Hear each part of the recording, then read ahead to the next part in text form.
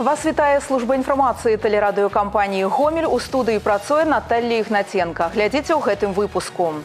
74 гады свабоды і міру. Беларусь рыхтуецца да святкавання дня перамогі. Свята яднання і міру. Кіраўніцтва гомельскага гарвыканкама правяло ўрачысты прыём ветэранаў вялікай айчыннай вайны. А зараз аб гэтым іншым больш падрабязна. 74 гады свабоды і міру. Беларусь рыхтуецца да святкавання дня перамогі. 9 мая ва ўсіх раёнах гомеля ўрачыстасці распачнуцца шэсцем Беларусь памятае. Пройдуць мітынгі, адбудуцца святочныя канцэрты, выставы, акцыя кветкі вялікай перамогі. Традыцыйна будзе арганізавана работа палявой кухні. Галоўная падзея урачыстая шэсці ветэранаў, прадстаўнікоў працоўных калектываў, спартсменаў і творчай моладзі. Яну распачнецца ў 10 гадзін. Калона пройдзе ад плошчы паўстання да плошчы працы, дзе адбудзецца мітынг памяці і цырымонія ўскладання кветак да брацкай магілы савецкіх воінаў і падпольшчыкаў. Увогуле далучыцца да шматлікіх мерапрыемстваў змогуць у кожным куточку вобласці. З раніцы да позняга вечара жыхарам усіх раёнаў арганізатары будуць дарыць сапраўднае свята. Тэматычныя мерапрыемствы нагадаюць гасцям свята аб тым, што мір гэта бясцэнны дар і будучыня для нашых дзяцей. Так у гомелі побач з кінотэатрамі мяка Калініна можна будзе паспрабаваць салдацкую кашу. Тут жа будзе дэманстравацца фільм на ваенную тэматыку. На рэчацкім праспекце пасля рэканструкцыі адкрыюць сквер. На адкрытых пляцоўках горада пройдуць канцэрты. Для дзяцей паўсюль будуць ладзіць забаўляльныя праграмы. Завершыцца дзень перамогі святочным салютам. Сотні запаленых лампадак як сімвал памяці пра тых, хто ваяваў за мір дзеля будучых пакаленняў. Сёння на алеі герояў у гомелі сабралася моладзь, каб прыняць удзел у штогадовай патрыятычнай акцыі беларускага рэспубліканскага саюза моладзі гомель памятае. Інфармацыя з месца падзей у матэрыяле нашага корэспандэнта Паўла Мехно. Ужо па традыцыі на алеі герояў у абласным цэнтры напярэдадні свята вялікай перамогі можна назіраць за сотнямі маладых людзей, якія прыйшлі прыйшлі сюды, каб прыняць удзел у штогадовай акцыі гомель памятае і такім чынам ушанаваць памяць тых, хто не шкадуючы свайго жыцця адстойваў свабоду радзімы на палях бітваў вялікай айчыннай вайны. Очень отрадно то, что наша молодежь чтит и помнит нашу историю, великие победы наших дедов и прадедов. И это действительно э, символично, что именно здесь, на аллее героев, э, подобное мероприятие э, проходит. Потому как именно здесь мы отдаем дань уважения всем тем, кто ценой собственной жизни, своей молодости подарил нам мирное небо над нашей головой. Падчас мерапрыемства ля помніка героям Савецкага Саюза выстраілася калона з амаль паўтысячы актывістаў БРСМ. Падтрымалі акцыю і звычайныя гамяльчане. Усе яны прыйшлі сюды аддаць даніну павагі удзельнікам барацьбы з фашызмам.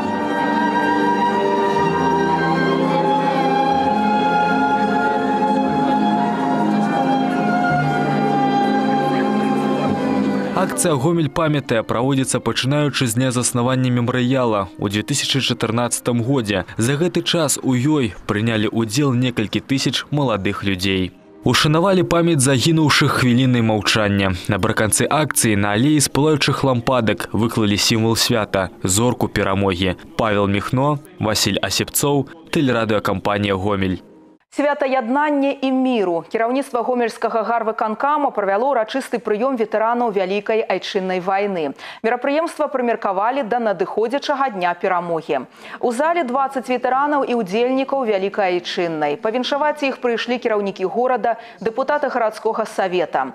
Напярэдадні свята ў адрас ветэранаў і ўдзельнікаў вайны гучалі словы падзякі і пажаданні здароўя. Па словах старшыні гарвыканкама Пятра Кірычэнкі 9 мая гэта гэта не проста гістарычная дата. Гэта сімвал яднання беларускага народа памяці многіх пакаленняў. Зараз у абласным цэнтры пражывае больш як 400 ветэранаў і удзельнікаў вялікай айчыннай вайны. Дзень перамогі яны сустракалі ў розных умовах і ў розных месцах. Аднак радасць была на ўсіх адна. Воевали мы в то время чехословаки были под прагой вот под прагой ночью нам объявили что победа. Вот, начали праздновать тогда сразу, не, не ожидая дня даже. Победа эта была завоевана очень в этой войне очень дорогой ценой. Поэтому хотелось всегда в этот день, я это сегодня буду делать, сказать спасибо тем ветеранам, которые дали нам возможность спокойно жить, строить страну, чувствовать себя полноценным гражданином своей страны и планировать нашу жизнь, жизнь наших детей на будущее. Музыка аб'ядноўвае. У беларускім дзяржаўным універсітэце транспарту прайшоў рэспубліканскі фестываль ваенна-патрыятычнай песні сярод студэнтаў замежных краін. Мерапрыемства, прысвечанае надыходзячаму дню перамогі, праводзяць другі год запар. Мэта фестывалю умацаванне інтэрнацыянальных сувязяў сярод моладзі і прыцягненне ўвагі замежных студэнтаў да гістарычнай спадчыны Беларусі.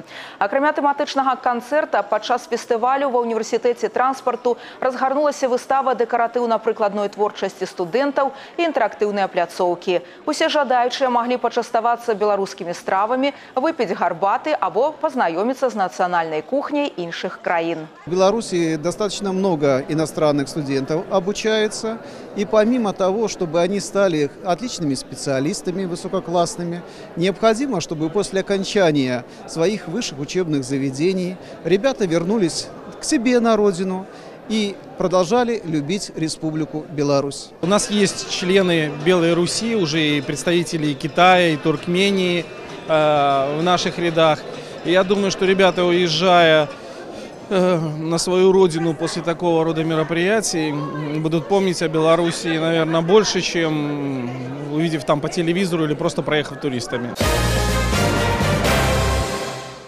У светлагорскім раёне напярэдадні абмеркавалі шляхі павышэння эфектыўнасці жывёлагадоўлі. Пры гэтым акцэнт зрабілі на сучасныя тэхналогіі вырошчвання і захоўвання травяных кармоў. Па словах навукоўцаў, прымяненне такіх кармоў дазваляе не толькі на 20 процентаў павялічыць надоі, але садзейнічае ўзмацненню здароўя жывёл. З новымі тэндэнцыямі ў аграпрамысловым комплексе азнаёміўся Олег Сенсіроў. Жоўта-зялёнае майскае поле гэта не проста прыгожа, гэта так званы полосный способ выращивания травяных кормов. При такой технологии их можно убирать уже зараз. Причем средняя урожайность звычайно превышает 250 центнеров с гектара. Нельга сказаць, што для Беларусі гэта зусім ужо новая тэхналогія, але менавіта ў гомскай вобласці шырокага распаўсюджвання яна пакуль не атрымала. Яе сутнасць у тым, што на адным поле адначасова вырошчваюцца розныя культуры. У дадзеным выпадку свірепіца і жыта. Добрыя ўраджаі, такое спалучэнне дае нават на песчаных глебах. Але што яшчэ больш важна, свежыя кармы можна атрымаць пры любым надвор'і, ва ўсялякім разе засуха им не погрожаем. Это посеяно во зимы посев, используется э, влага, та, которая была с зимы, и она дает возможность вот, э, сформировать хороший урожай. Если хотим производить рентабельную продукцию животноводческую, мы не можем забывать про производство высококачественных кормов и страв. Ни для кого не секрет, основные доходы сельхозпредприемстваў от жывёлагадоўлі менавіта ад гэтай галіны залежыць дабрабыт вяскоўцаў. Больш малака, больш выручка, у тым ліку валютная. Разом з тым мінулы год показаў, у некаторых гаспадарках з наяўнасцю кармоў былі значныя праблемы, у тым ліку па прычыне іх неэфектыўнага захоўвання. Удзельнікам рэспубліканскага семінара па нарыхтоўцы травяных кармоў яшчэ раз спрабуйце даказаць. Сёння неабходна больш шырока выкарыстоўваць палімерныя матэрыялы. Траншеи, конечно, больше больше аэропотерь, чем строить пленку. Строить пленку – это, по сути дела, ты кормишь его частями, взял рулон, скормил и пошел дальше. И он законсервирован и соблюдает те качества, которые присущи. У Мінсельгасхарча спадзяюцца, што сучасныя тэхналогіі вырошчвання, нарыхтоўкі і захоўвання травяных кармоў знойдуць больш шырокае распаўсюджанне. Прымушаць з дапамогай адміністрацыйных мер, кажуць, не будуць нікога. Але калі кіраўнік гаспадаркі можа лічыць грошы і сапраўды клапоціцца аб сваіх работніках, ён прыме правільнае рашэнне. Заставляць заставлять никого не нужно. Сами председатели, хозяйственники должны это понимать и сами внедрять. Приходить, спрашивать, если кому-то что-то непонятно, и внедрять. Сегодня ввод в рацион данного корма животным позволяет получить дополнительно до 20% э, молока. То есть полтора-два литра молока в день прирост. А это наши деньги наше богатство. Олег Сентюров, Игорь Марыщенко, телерадиокомпания «Гомель», Светлогорский район. Гомельскае аддзяленне беларускай гандлёва-прамысловай палаты пры падтрымцы аблвыканкама і гомельскага гарвыканкама арганізуе 20 міжнародную выставу вясна ў гомелі. Яна пройдзе ў перыяд з 23 до 26 мая. Міжнародная выстава вясна ў гомелі самая маштабная рэгіянальная выстава краіны. У гэтым годзе на плошчы амаль у 5,5 тысяч квадратных метраў будуць прадстаўлены ўзоры прадукцыі 300 прадпрыемстваў і арганізацыі гомельскай вобласці, а таксама калектыўныя стэнды замежных удзельнікаў. Апрача таго, у рабоце юбілейнай выставы прымуць удзел каля 200 рамеснікаў. Упершыню ў праграме выставы канцэрты гомельскіх гуртоў і гастрафест у рэстаранах абласнога цэнтра. Але галоўная задача – дэманстрацыя патэнцыялу рэгіёна і дапамога арганізацыям у пошуку новых деловых партнеров. Самое главное – это те деловые переговоры и контакты, которые мы бы хотели, чтобы состоялись в рамках форума и в рамках выставки, потому что все гости форума приезжают на выставку и участвуют в переговорах. Более 50 мероприятий деловой программы традиционно уже включает сейчас выставка «Весна в Гомеле», поэтому мы проводим и презентации, и переговоры. Профілактыку траўматызму і мерапрыемствы па яго папярэджанне напярэдадні абмяркоўвалі ў доме прафсаюзаў. За круглым сталом сабраліся прадстаўнікі органаў выканаўчай улады, дзяржаўнай інспекцыі працы, белдзяржстраху, пракуратуры, саюза наймальнікаў і прафсаюзаў. За мінулыя чатыры месяцы статыстыку надзвычайных сітуацый у краіне папоўнілі выпадкі і на працоўных месцах. У іх выніку пацярпела звыш 200 чалавек. Тэму працягне Яўгенія Кухаронак. Сёлета ў гомельскай вобласці адбылося каля 40 надзвычайных выпадкаў з удзелам працоўных. Звыш 30 чалавек атрымалі траўмы рознай ступені цяжкасці, 8 загінулі. Найбольш небяспечнай па-ранейшаму была лесазагатоўчая галіна. Узрасла колькасць траўміраваных таксама ў сельскай гаспадарцы сярод транспартнікаў і будаўнікоў. У спісе прычын вытворчага траўматызму на першай пазіцыі застаўся чалавечы фактор. Каждый на своем рабочем месте обязан прежде всего соблюдать элементарные требования охраны труда, которые предусмотрены и должностными обязанностями, инструкциями, и их соблюдать. К сожалению, анализ несчастных случаев на производстве показывает о том, что преобладающий процент, более 50%, это человеческий фактор.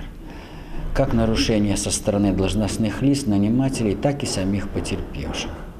Поэтому, чтобы снизить производственный травматизм, каждый на своем рабочем месте должен помнить о том, что здоровье в его руках. Яшчэ да правядзення круглага стала тэхнічныя інспектары пацікавіліся прапановамі па прафілактыцы траўматызму непасрэдна на працоўных месцах у завадчан. Деловая сустрэча адбылася на зліне. Мы встретились с общественными инспекторами, послушали их мнение от коллектива. Ну и одно вот такое предложение прозвучало. Продумать централизованное приобретение средств индивидуальной защиты. Возможно, сейчас мы будем обсуждать с привлечением средств белого страха. Акрамя гэтай прапановы абмяркоўвалася і шмат іншых у рэгіёне ўсе сілы накіраваны на прасоўванне канцэпцыі нулявога траўматызму. К примеру, на сегодняшний день у нас рост травматизма с тяжелым исходом в Светлогорском районе. Предлагаю группой заинтересованных лиц, там, технический инспектор, представитель инспекции труда, там, местный исполнитель, возможно, там, на территории э, представитель прокуратуры пожелает, будет возможность у него принять участие, выехать на определенные предприятия, даже не обязательно на те предприятия, у которых имеет место быть несчастный случай, а выехать и оказать помощь практическую. По выніках круглага стола быў падпісаны дакумент, у якім адзначаны сумесныя мерапрыемствы зацікаўленых арганізацый і аб'яднанняў па прафілактыцы траўматызму. Некаторыя пытанні былі ўзяты на ўлік для далейшага больш пільнага разгляду. Евгения Кухаронак, Василий Сіпцоў, тэлерадыёкампанія Гомель. Шляхі развіцця аграэкатурызму ў гомельскай вобласці за круглым сталом абмеркавалі прадстаўнікі ўлады грамадскасці і бізнесу. Пляцоўкай для размовы стаў фестываль экатурызму, этнакультуры і актыўнага сямейнага адпачынку ранча агратурфест. У гомельскім рэгіёне налічваецца 156 аграсядзіб. Сёння турысты тут спыняюцца не на некалькі дзён, як гэта было два гады таму, а на больш доўгі тэрмін. Павялічыўся і ўзровень даходаў ад аказваемых паслуг. Зараз працаваць неабходна ў накірунку актывізацыі прасоўвання аграсядзіб на турыстычным рынку, бо супыняцца на дасягнутых выніках нельга. У гэтай сферы дзейнасці развівацца неабходна пастаянна. Цель всего, что мы делаем, и в том числе цель этого круглого стола, это самозанятость населения, это сохранение на сегодняшний день э, того потенциала, который есть в сельских населенных пунктах, в малых деревнях. И, конечно, сегодня мы понимаем, что одна агроусадьба может дать за занятость э, большому количеству людей, проживающих вокруг них. Кто-то э, будет помогать э, значит, по хозяйству, кто-то будет катать на лошадях, кто-то будет продавать мед туристам, кто-то будет организовывать рыбалку. Понятно, что один владелец агроусадьбы не в состоянии все это сделать. Поэтому это такая цепочка, э, можно сказать, такой небольшой локомотив, который позволяет людям сегодня зарабатывать, не уезжая из своих э, населенных пунктов. Спецыялісты сцвярджаюць, у нашай краіне створаны ідэальныя ўмовы для развіцця аграэкатурызму. Спрошчана па максімуму рэгістрацыя, маюцца прэферэнцыі. Аднак разам з тым аднаго жадання ў гэтым бізнесе мала. Трэба выкарыстоўваць усе магчымыя рэсурсы на карысць сваёй справы. Так, да прыкладу, за круглым сталом вялікую ўвагу надалі абмеркаванню вопыту работы з праектнай дзейнасцю на суісканне грантаў. Бязвыплатныя сродкі могуць дапамагчы ў развіцці базы аграсядзіб ды ўвогуле сельскіх населеных пунктаў. Гомель рыхтуецца сустрэць 13 чэмпіянат Еўропы сярод школьнікаў па гульні што дзе калі. Спаборніцтвы па інтэлектуальных гульнях стартуюць 10 мая. На працягу трох дзён каманды з Беларусі, Расіі, Украіны, Літвы і Латвіі будуць змагацца за медалі інтэлектуальнага першынства. У Гомелі на міжнародным спаборніцтве збяруцца каманды прызёры нацыянальных чэмпіянатаў па што дзе калі, якія ўвайшлі ў тройку пераможцаў у сваіх краінах. Старэйшую падгрупу прадстаўляюць школьнікі 10 і 11 класаў. Малодшая падгрупа гэта юныя інтэлектуалы-навучэнцы сёмых, восьмых і дзевятых класаў. Першы эксперыментальны кубак Еўропы па інтэлектуальнай гульні што дзе калі сярод школьнікаў Гомель прыняў у 2004 годзе. У першыя гады правядзення інтэлектуальнага першынства збіралася паўтара дзесятка каманд з Беларусі, Расіі і Украіны. У гэтым годзе 13 чэмпіянат Еўропы сярод школьнікаў па што дзе калі сабраў 40 каманд, якія прадстаўляюць амаль 20 гарадоў. Беларуская нацыянальная зборная гэта 10 каманд, пераможцы нацыянальных турніраў і турніраў партнёраў. Это гомельская команда, гомельская команда «Тигры в линейку», которая тренируется у нас э, в Дворце творчества детей и молодежи. Замечательная команда, обладатель большого прибольшого Кубка Беларуси в этом году. Она выиграла все, что только могла. Она единственная э, была призером во всех трех основных играх на чемпионате. То есть очень сильная команда, очень хорошая команда. Вот. э, Дальше минчане идут, очень сильные минчане. Э, Ребята из Витебска, Солигорск, Логойск, Мозырь, наш родной, соседский и так далее, и так далее. Гродно, очень э, хороший разброс, очень хороший э, состав представительства. То есть не только в Минске, это очень радует. Э, У нас созревают чемпионы по уму. Рэтраспектыву творчасці братоў ткачовых прадставілі ў палацы румянцевых і паскевічаў. У экспазіцыі больш як 30 работ, напісаных майстрамі сацрэалізму, пачынаючы з 1950-х гадоў і да 10-х 21 стагоддзя. Толькі некалькі карцін належаць аўтарству Алексея Ткачова. Над усімі астатнімі браты працавалі разам. Падрабязнасці ў сюжэце Яўгеніі Кухаронак. Браты Ткачовы нарадзіліся на браншчыне Сергею ў 1922, Алексею 25. Вышэйшую адукацыю абодва атрымалі ў маскоўскім дзяржаўным мастацкім інстытуце імя Сурыкава. Вялікая айчынная развяла братоў па розных краях радзіма, аднак пасля лёс звязаў іх ужо надоўга. У 50-х гадах мінулага стагоддзя нараджаецца іх творчы саюз. Алексей піша эскіз, які Сергей размалёўвае. Пазней, адпаведна гэтага накіда на свет з'яўляецца іх першая сумесная работа ў калодзежа. Далей яны працягваюць працаваць разам разам. На карцінах, якія браты ткачовы пішуць у чатыры рукі, яны ставяць двайны аўтограф. Аднак падпісваюцца не па ўзросце, а ў алфавітным парадку. Сергей хоць і старшы з братоў, аднак значыцца другім. Сергею Пятровічу зараз 96, Алексею 93. Аднак, нягледзячы на шаноўны ўзрост, яны і сёння пішуць карціну ў сваіх маскоўскіх студыях, якія размешчаны адна насупраць другой. Цяжка ўявіць сябе, наколькі браты ткачовы улюбёную сваю справу. Ураджэнцы 1920-х гадоў пішуць свежа і ў 21 стагоддзі. Пры тым, што тэматыка нават іх першых работ не страчвае актуальнасці праз дзесяцігоддзі. Это тот соцреализм, который не устареет никогда. То есть это вот народное, это пейзаж, это деревня, это свадьба, это похороны, это э, все, что касается вот людей, да, и написано с живых людей, с живой натуры. То есть это, по сути, запечатленный, вот родители, старики, портрет, вот это уходящая жизнь.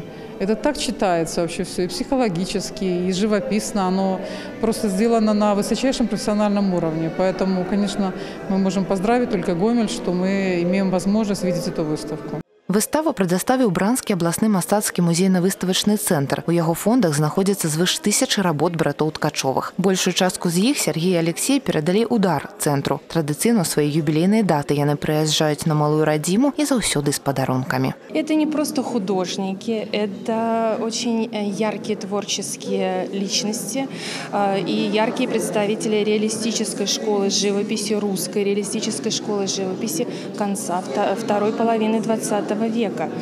Это люди эпоха, это люди атмосфера, потому что разговаривая с ними, ты погружаешься, ты просто переносишься, как на машине времени в 20 век, и тебе раскрываются очень интересные моменты, о которых ты не сможешь прочитать. Карціны братоў ткачовых выстаўлены ў ста музеях свету. Феноменам іх творчасці спецыялісты лічаць сумленнасць. Па іх карцінам вывучалі побыт вяскоўцаў і працягваюць гэта рабіць і сёння. Зараз Сергея і Алексея ткачовых адкрыта называюць рускімі імпрэсіяністамі. Евгенія Кухаронак, Евген Макенка, тэлерадыёкампанія Гомель.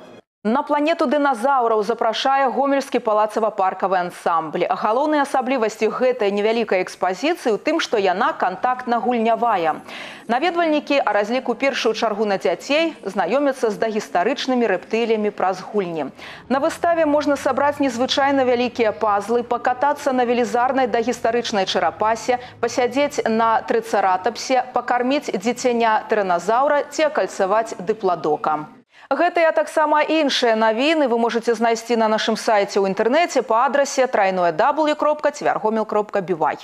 На гэтым выпуск завершаны. Дзякуй за ўвагу і да новых сустрэч у эфіры.